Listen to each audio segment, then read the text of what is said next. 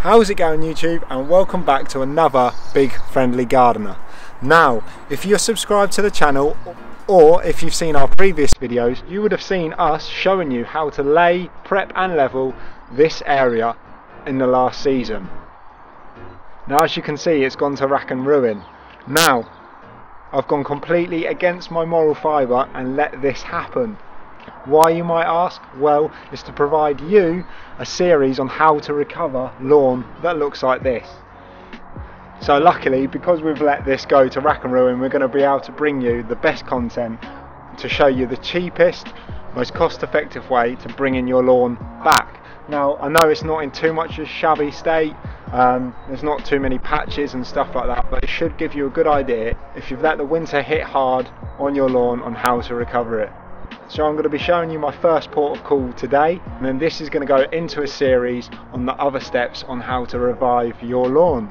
Again, I just want to thank all you subscribers. I can't believe we're over a thousand. If you're not subscribed, then please hit that subscribe button, hit that like and comment to say whether you've watched our previous videos and if they've helped you before.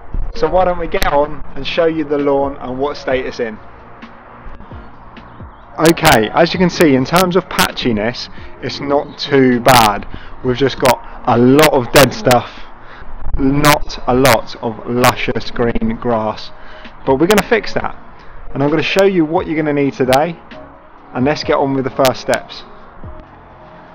Okay, so you're still wondering what we're doing today. You've clicked on the video and you're wondering what are we actually going to learn today? Well, I'm going to show you. The reason why I want to do it in a series and stagger it is so people don't watch the whole series, go out and do it all at once. So it's important you watch it in stages, this being the first video. Otherwise we're going to scorch the grass and we're actually going to make it worse. So listen in.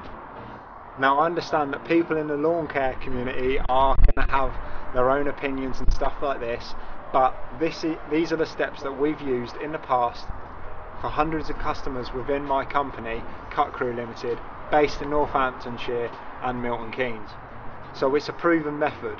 Yes, there may be other ways. However, why don't you comment them and let us know? It's great to hear other methods and stuff like that. But as I said, this is a proven method that I use within the business. So our first step, again, we've not got many patches and stuff like that, so I'm just going to go for a pure revival on this lawn and see where we get to. So you're going to need some iron sulfate. It's got turf hardening properties, instant nitrogen for a nice green up, kills moss if you use the right application, stops diseases and can help prevent worm casts. So this is my first port of call. We've not put any fertilisers on or anything like that this season. The reason why I'm doing this is good turf that we do have to deal with back up, back to life, and then we can see what we are dealing with. So you're going to need your iron sulfate and a pressurised sprayer. You do not need a pressurised sprayer, you can use a watering can, you can even put it on dry, but this makes it super easy and really effective for a good spread. So let's get on how to mix this stuff up and apply it. So here's the iron sulfate. If you do need a hand getting hold of it, you can find a link in the description for this exact product. So when we're mixing it, we work it out in per litres and I've got a six litre applicator here so we can um, times whatever's on the back by six but it's one to two grams per litre just for a green up or just for greening properties. It's three to four for turf hardening and five for moss killing. So what I'd advise is we'll put three to four on today try and get turf hardening and some green up and we're also going to get some moss killing properties from that. So all I'm going to do now as I said we use this stuff day in day out. I've got a measuring cup that I know is already suitable for the amount of water I need for a full sprayer. What I would advise you to do is get a plastic cup and measure it out. So if we've got uh, if we've got six litres of water six times four is 24 so you're going to need 24 grams per sprayer. Okay so all I'm going to do, I've got my water in already, I've got my 6 litres of water and I know that 2 scoops is my 24 grams. I've already pre-measured it and as I said we use it day in and day out. Now all we're going to do put the spreader back on. Again, if you're using a watering can, you can just mix it up. Let that dissolve. It dissolves in water. And now we're going to go ahead and apply it. Okay, so now we're all ready to go.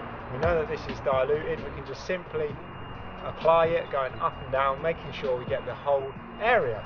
So let's crack on.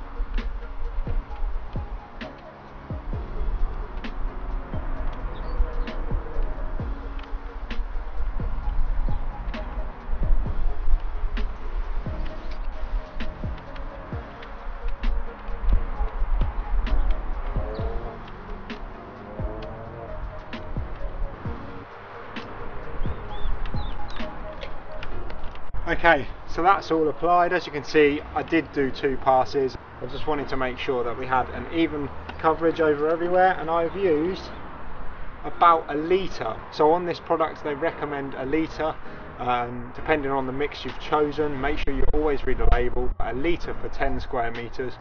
Um, so this is around 10 metres, which we've done as this is around 10 metres squared.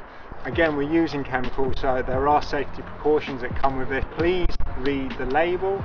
The only thing I would say is do not get it on any hard standing or patio because it will stain it. It will go a horrible orange colour. And then I'll have to release a video on how to clean it off. So why don't we nip it in the bud now and don't get it on any patios or hard standing. Now if you've seen our video for 5 tips for a healthier lawn, if you've not, you can watch it up here. You probably know what's coming. What this series is going to be about is maintaining it and keeping on top of a fertiliser program to keep an all year round green. So it's going to be exciting. So make sure you subscribe and follow the series. I think what's coming up next in this series, I'm going to test and monitor the lawn over the next two weeks. But I think we should get a good aeration and a good scarify and then we can see where we're at, whether we need a reseed or anything like that, we can judge and see.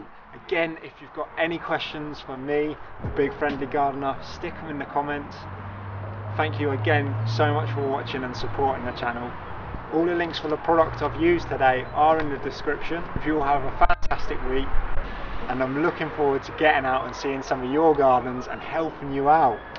Thank you again for joining us for another video and I'll see you in the next one. Have a good week.